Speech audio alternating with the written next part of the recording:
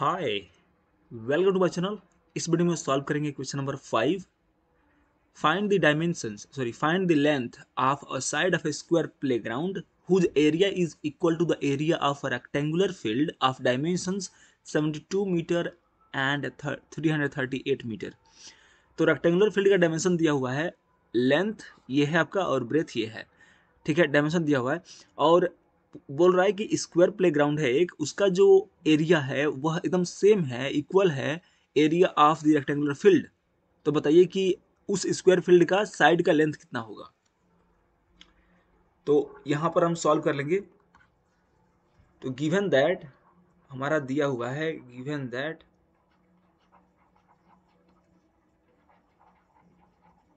area of the square playground square playground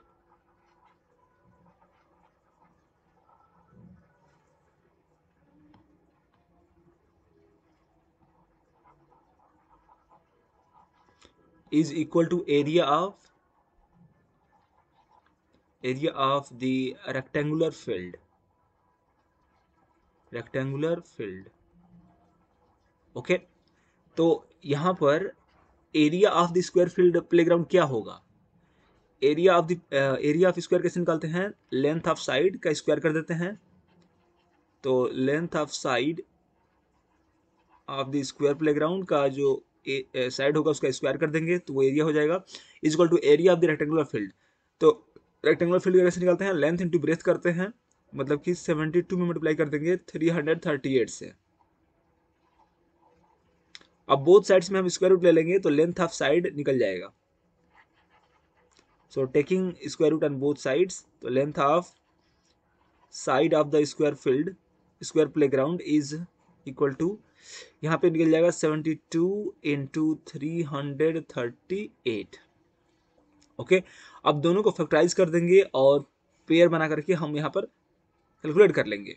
तो 72 two into three hundred thirty eight है यहाँ पर। तो पहले हम क्या करते हैं? 72 का फैक्टराइजेशन कर देते हैं। तो हम जानते हैं 72 में क्या होता है? नाइन एट जा क्या होता है? सेवेंटी टू होता है। मतलब कि एट, नाइन जा तो two into two into two into three हो जाएगा यहाँ पे। इंटू थ्री थर्टी एट का क्या होता है? तो हम यहाँ पर कर लेंगे थ्री हंड्रेड थर्टी एट का फैक्टराइजेशन और इस पर जाएगा टू से two hundred two and two hundred two और यहाँ पर जाएगा टू सिक्स जा ट्वेल्व एंड टू नाइन जा थर्टीन ओके और यहाँ थर्टीन चला जाएगा। थर्टीन थर्टीन जा।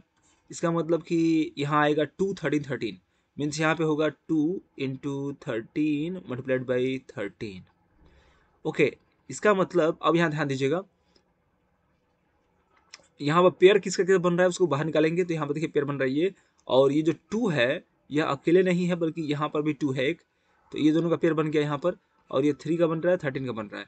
मीन्स टू इंटू ये वाला टू जो मैंने सर्कल में यहाँ बनाया है इंटू थ्री हो गया ये वाला, उसके बाद से इंटू थर्टीन ये हमारा निकल गया स्क्वायर रूट से बाहर सारे नंबर्स यहाँ मल्टीप्लाई कर लीजिए तो four four three twelve and twelve thirteen जा होता है वन हंड्रेड फिफ्टी सिक्स तो हमारा लेंथ ऑफ़ साइड का मिल गया? One hundred fifty six meter and this is your answer okay thank you so much for watching bye